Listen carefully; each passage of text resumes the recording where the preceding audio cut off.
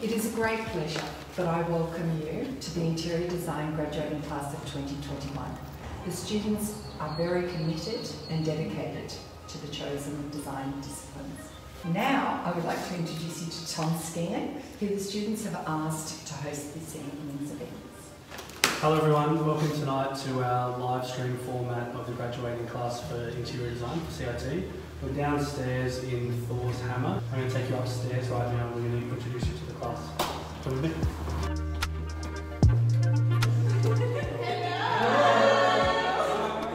Alright, so um, everyone watching at home, you may be at work, you might be driving and pulled over to watch this. Um, thank you so much for tuning in. This is the graduating class for 2020.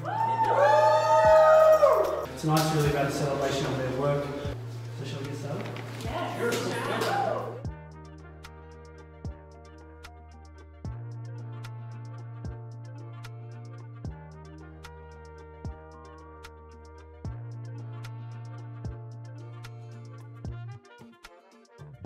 Got three students awards that we have from industry and then some of the students have actually would like uh, awards to be presented that they've made for themselves which is great. Uh, it's been lovely to watch the students connect to each other.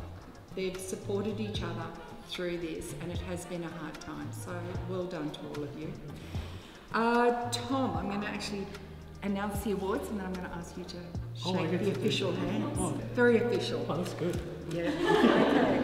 The first award is the Ergonomics Award. Now, this is actually given to a student who has actually applied the principles to not only their projects, but also part of ergonomics is actually being kind to ourselves, pacing themselves, getting things on time, all of those type of things.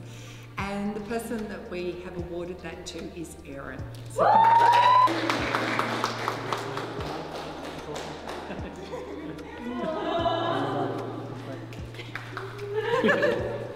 Okay, the next award is the KBDI Award. They are specialists in kitchen and bathrooms and it's an industry award.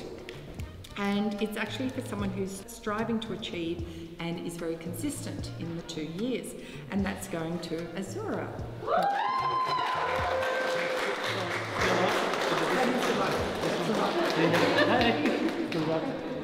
Good luck. Well done, amazing. The last award is actually more from the teachers and the staff at CIT. And this student, we felt it's really hard because we want to give awards to everybody. You all deserve them.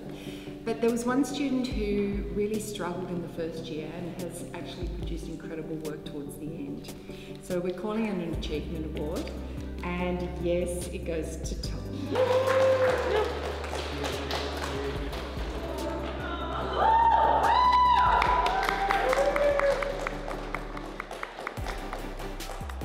But now the students have actually created some of their own awards.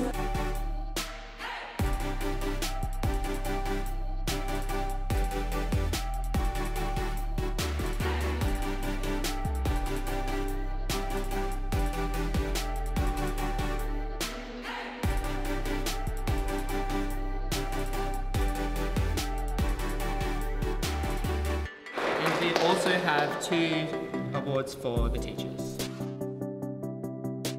Uh, the Teacher of the Year goes to Duncan.